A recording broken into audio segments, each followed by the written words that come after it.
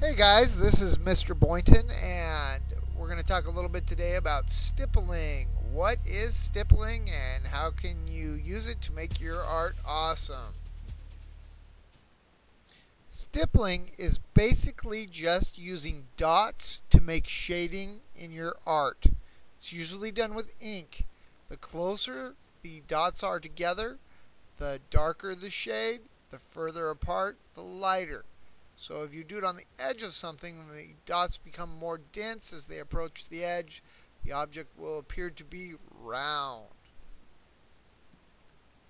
So in about 1510, a guy named Giulio Campagnola uh, invented stippling, and people thought it was great because you could use it uh, for printmaking. Uh, the little dots were easy to reproduce on a printing press. And here's an example of some of his work. Here we have several different uh, examples of stippling. Stippling can be more than just dots. As long as the little objects that you put on get further apart, they'll still make the illusion of shading depending on how close or far apart the dots or objects are. So I start uh, by drawing the the contour line of the object I'm going to shade with stippling. In this case, I'm going to do a piece of fruit. So I begin shading my object by first figuring out where the light comes from. That's on the right. So I go ahead and start adding dots on the left side. That's the dark side.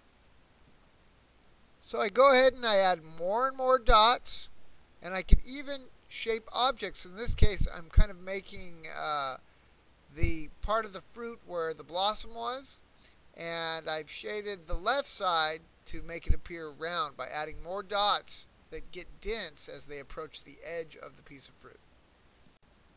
And here I've really darkened up that, that edge on the left to make it appear to be a spherical shaped object. Now I've dropped the shadow by adding more stippling underneath to create a, a shadowing effect.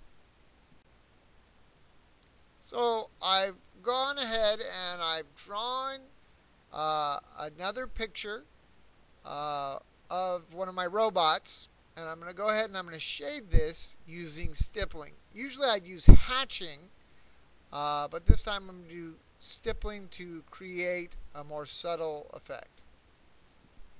So my robot is made out of lots of cylinders and I have the light coming from the right side.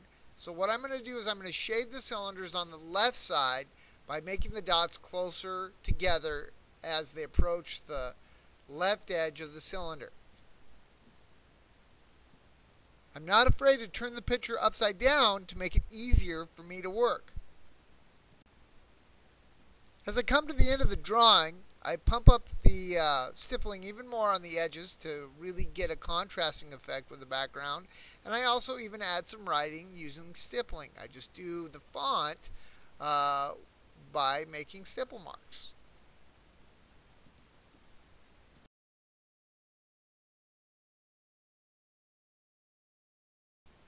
The following are some fantastic examples of stippling.